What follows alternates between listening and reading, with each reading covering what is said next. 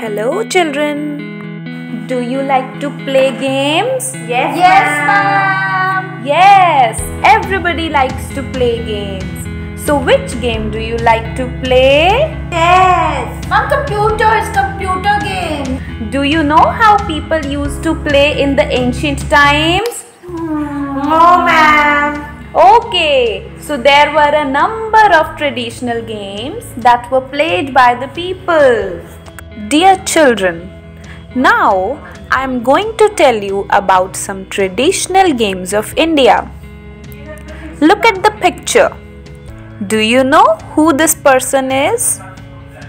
This is Mulk Raj Anand, one of the famous Indian writers in English. In this chapter, Mulk Raj Anand recalls the games that he played as a young boy. So, are you ready, children? Yes, ma'am. Okay, so let's start.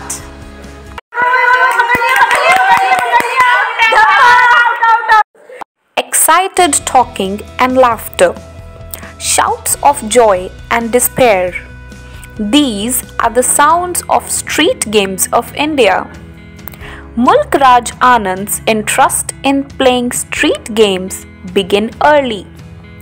One of his earliest memories is playing the game of goli.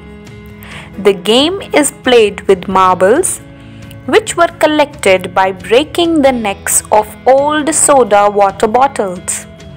Sometimes the children bought colorful marbles to play this game.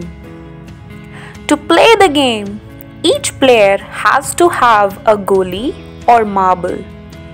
A little hole is dug into even ground with the heel of the foot.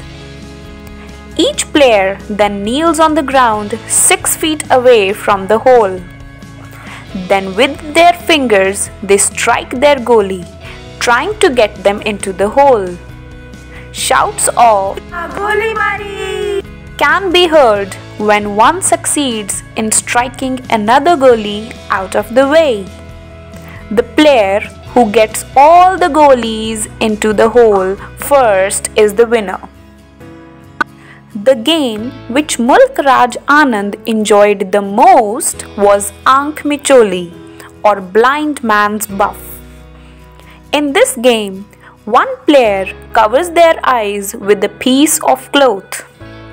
The others hide in different places and the blind man looks for them.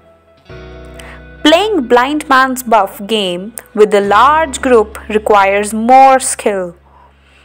Each one is so clever at hiding that the blindfolded man roams about, hearing the others shout, but unable to touch any of them. Sometimes the older boys used the game as a trick on Mulk Raj Anand when they did not want him to play with them.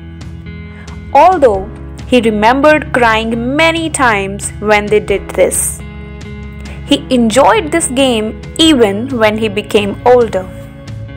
The other game which Mulk Raj Anand used to play was spinning a lattu or top. This game requires a deft hand and enough pocket money to buy the tops made of wood or mud. A string is wrapped around the lower part of the top. This is tossed to the ground with a hard jerk and the string is released, causing the lattu to spin and spin.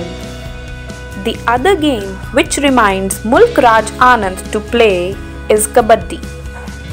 The player must be quick and strong. You also need the ability to hold your breath for long and to be a master of battle tactics since playing this game is almost like a real warfare. A line is drawn on sand or soft earth. Two teams with 5 to 10 players or more stand on either side of the line. A member of one team crosses the line chanting Kabaddi under his breath without stopping. If he is able to touch one or two players from the opposing team while saying kabaddi, the person he touches is dead. The visitor then runs back to his side. However, if the visitor is caught or he stops saying kabaddi, he is dead. The teams take turns to visit each other until all the members of one team are dead.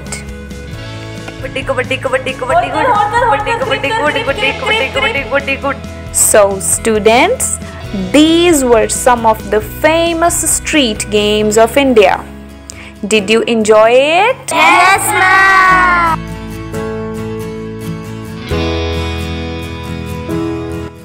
Dear students, now look at the picture and identify this game. Yes, this is Stapu. It is one of the traditional game of India which is mostly played by girls. In this game, one has to draw the outline of boxes on the ground with the help of a chalk. Then the player has to throw the stone in the first box and then jump on all the boxes except the first one. After reaching the last box, the player has to turn back and reverse. So this is how Stapu is being played. I hope you have enjoyed this lesson. Thank you.